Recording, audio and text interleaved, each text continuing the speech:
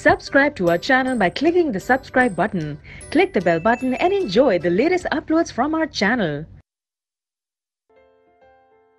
Now, question number 11.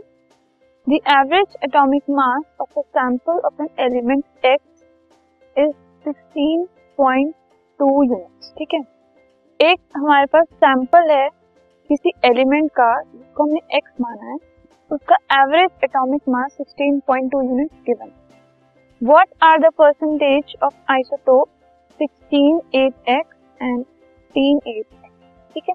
इन दोनों isotopes की percentage क्या होगी ये हमें बतानी है। तो हमने किसी एक आइसोटोप की परसेंटेज को सैंपल एक्स में, उसको हमने एक्स मान लिया, ठीक है? किसी एक आइसोटोप की परसेंटेज एक्स मान ली तो दूसरे वाले की क्या हो गई? हंड्रेड माइनस एक्स अब अगर हम मास देखें सिक्सटीन एट एक्स का तो उसमें होगा सिक्सटीन यूनिट क्योंकि ऊपर वाला मास नंबर होता है। एंड उसकी परसेंटेज को तो हमने एक्स परसेंट माना ही और फिफ्टीन एट एक्स में सिक्सटीन जो फिफ्टीन एट एक्स वाला है, उसका मास हो जाएगा हमारे पास फिफ्टीन यूनिट ठीक है?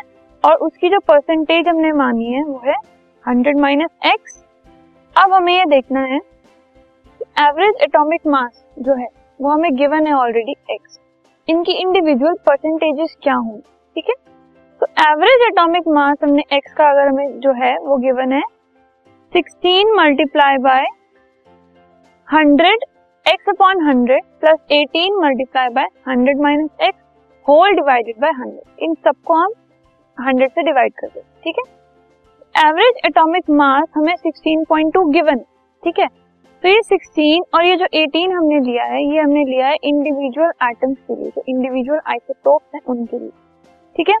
तो फर्दर सॉल्व करने के बाद हमारे पास ये आया एंड उसको अल्टीमेटली डिवाइड करके एंड मल्टीप्लाई करके हमने x की वैल्यू निकाली और वो हमारे पास आ गई 90 अब परसेंटेज हमने x किसकी ली थी?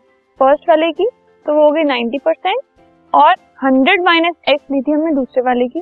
तो हो गए हंड्रेड माइनस नाइनटी मतलब टेन परसेंट।